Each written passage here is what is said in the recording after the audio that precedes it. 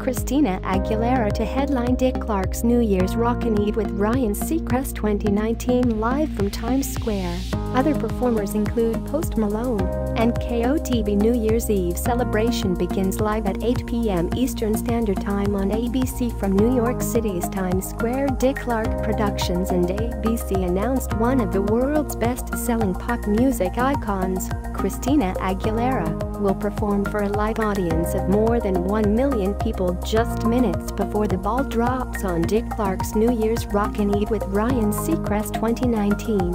Aguilera last performed on the show in 2007, and this year she will be joined by Bastille, Dan Plus Shay and New Kids on the Block in the hours leading up to the 2019 countdown. This marks multi-platinum artist Dan Plus Shay's first appearance on the show, and Bastille's second, while pop supergroup New